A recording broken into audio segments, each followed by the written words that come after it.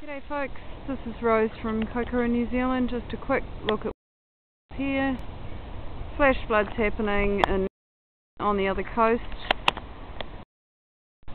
Gee, I wonder why. Be, take care out there.